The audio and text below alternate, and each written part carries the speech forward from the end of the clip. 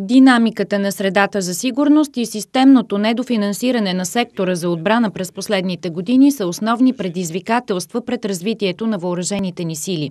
Това стана ясно от словото на министъра на отбраната Николай Ненчев при откриването на традиционната годишна конференция на началника на отбраната. Преди да се заем с надграждане на отбранителните способности съгласно декларираните политически намерения, рестрикциите в бюджета за 2015 година трябва да отбележат, че налагат спешни решения – за недопускане на срив и деградация на съществуващите способности.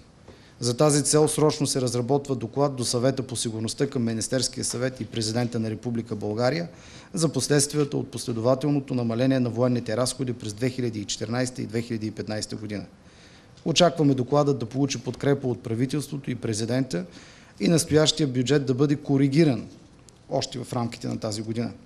Кризата в Украина се отразява особено негативно върху обстановката и сигурността, както в региона, така и в Европа. Хибридната война постави нови предизвикателства пред системата за национална сигурност. Действията на ислямска държава и тероризмът остават основна заплаха за сигурността и предизвикателство пред Алианса. Затова усилията на правителството и на Министерството на отбраната се насочват от преструктуриране и оптимизация към модернизация на въоръжените сили като средство за достигане на необходимите необходимите отбранителни способности, като числеността на българската армия се запазва.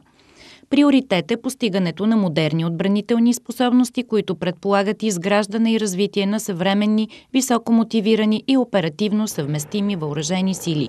Тук ключово е възможно най-бързо преодоляване на зависимостта на въоръжените сили от страни доставчици извън НАТО и Европейския съюз, обясни министър Ненчев срок до един месец след утвърждаване на резултатите от прегледа на способностите на въоръжените сили да бъде изготвен проект на програма за развитие на отбранителните способности на въоръжените сили до 2020 година. Второ, срок до един месец след утвърждаването на програмата за развитие на отбранителните способности и въоръжените сили до 2020 година да се изготви план за развитие на въоръжените сили до 2020 година. Трето, до 15 март тази година да се актуализират правилниците за работа на съвета по отбранителна политика.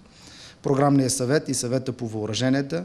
Министърът изтъкна, че се акцентира върху приемствеността в отбранителната политика от Бялата книга за отбраната и въоръжените сили към следващите стратегически документи, които предстои да бъдат изработени.